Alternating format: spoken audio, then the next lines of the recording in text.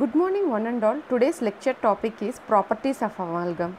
To assess the quality of amalgam, one should understand the properties.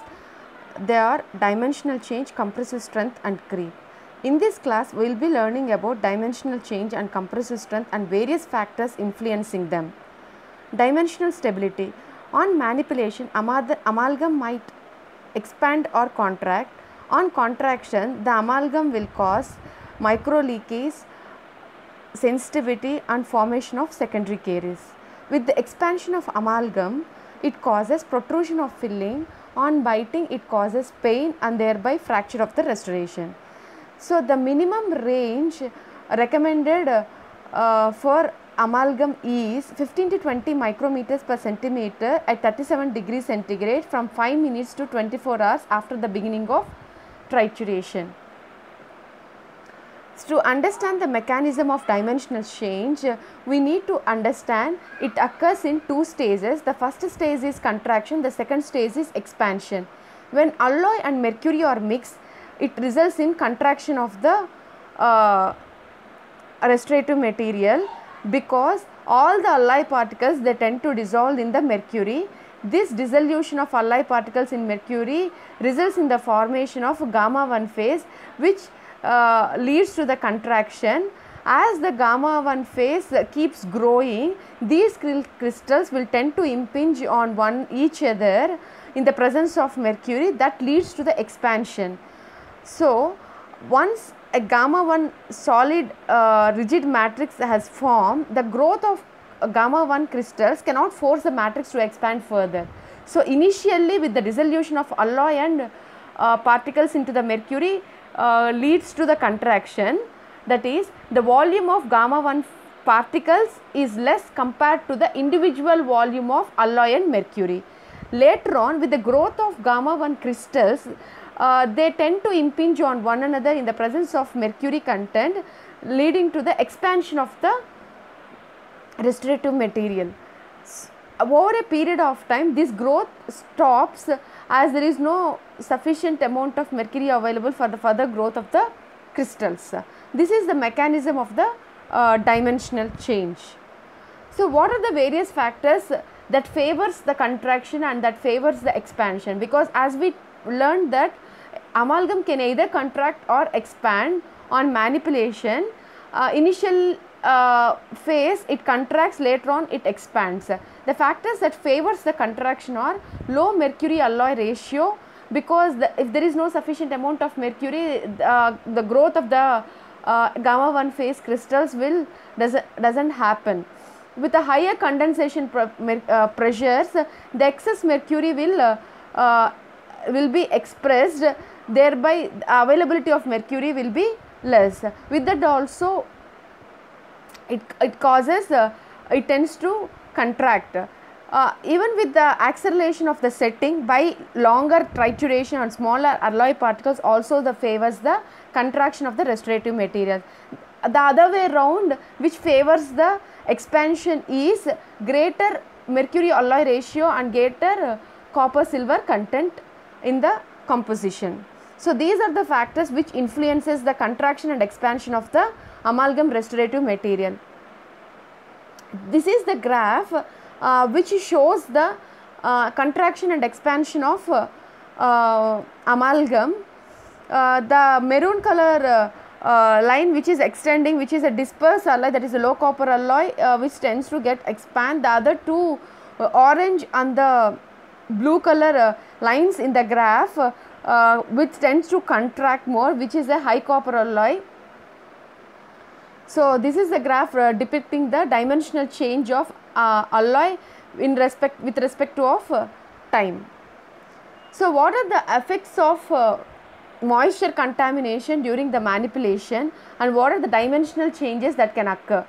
When a zinc containing low copper or high copper amalgam is contaminated by moisture, either during trituration or during condensation, a large expansion occurs.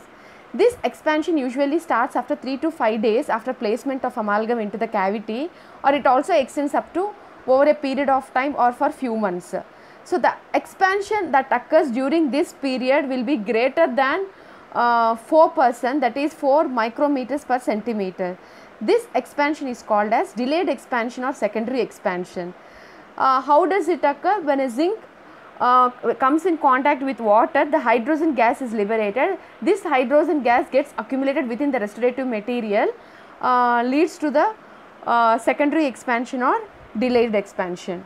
So, here is the graph showing the delayed expansion of an amalgam uh, with respect to that of a time. Uh, if you see the x-axis which depicts the time, the expansion keep on increases after uh, 24 hours of time and then it extends over a period of uh, time. What is the clinical significance of di this uh, uh, dimensional change? The delayed expansion of amalgam often causes intense pain because with the protrusion, with the collection of hydrogen gas within the restorative material which causes the protrusion of uh, the filling, this protrusion of filling causes uh, uh, high points in the restorative material which in turn causes uh, intense pain because of the wedging effect that is created between the restorative material and to the cavity walls and this pressure causes uh, uh, this this causes pressure on the pulp thereby the pain. So, the pain usually gain experienced after 10 to 15 uh, 10 to 12 days after the placement or even uh, uh, within first 5 days of the placement of the restorative material.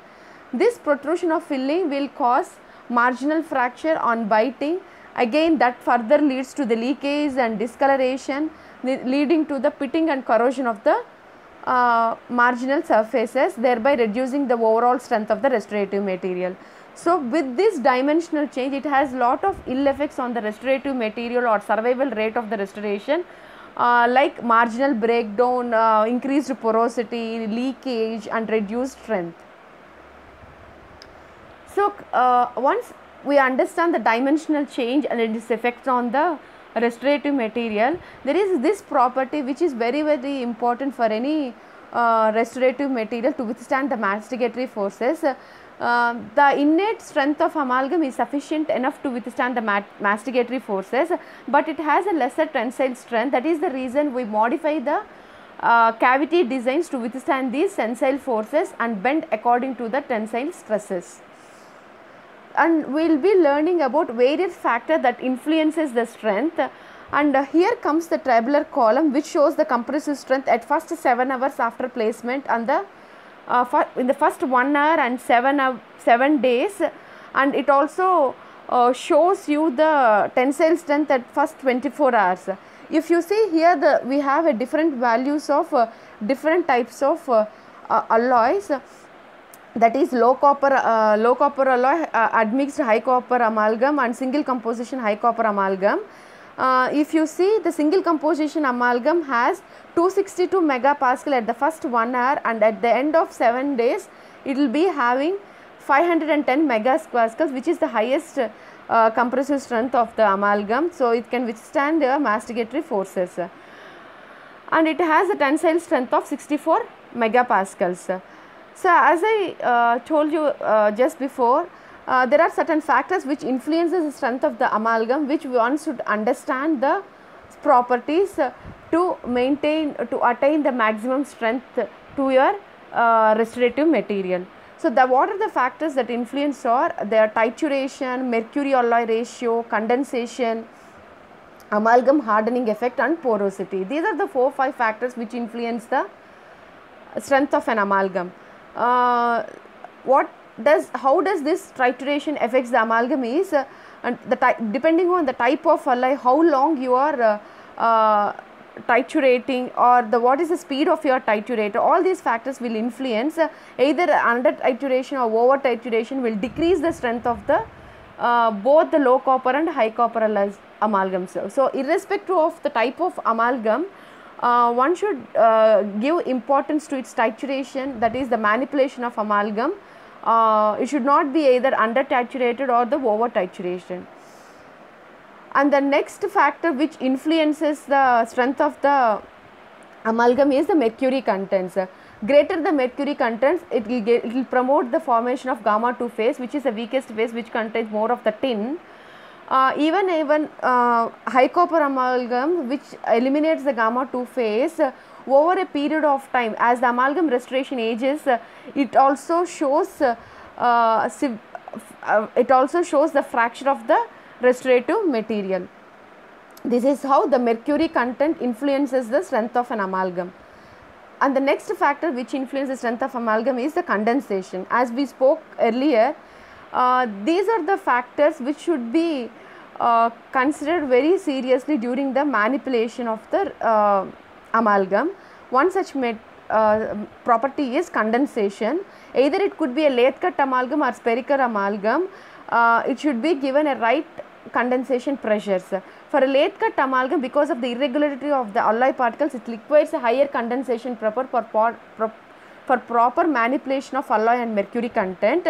Uh, this tend to express, express, I mean, releases a more amount of mercury. So, excess mer- mercury is uh, released from the restorative material for lathe cut amalgam with high condensation uh, uh, pressure. Thereby, we can uh, retain the strength of the restorative material whereas for spherical amalgam we doesn't doesn't require any higher condensation pressures it requires only light pressures if you give high condensation pressures that will punch through the restorative material thereby decreasing its strength so to attain adequate strength for lathe cut amalgam we should give high condensation pressure for spherical amalgam a light condensation pressure is sufficient so the here comes the another uh, uh, factor which influences strength is porosity. Why do you get this porosity? Because if you don't the condense, we do, if you don't condense it properly, uh, we can see some voids and porosity seen within the restorative material or on the surface of the restorative material, which affects the compressive strength significantly.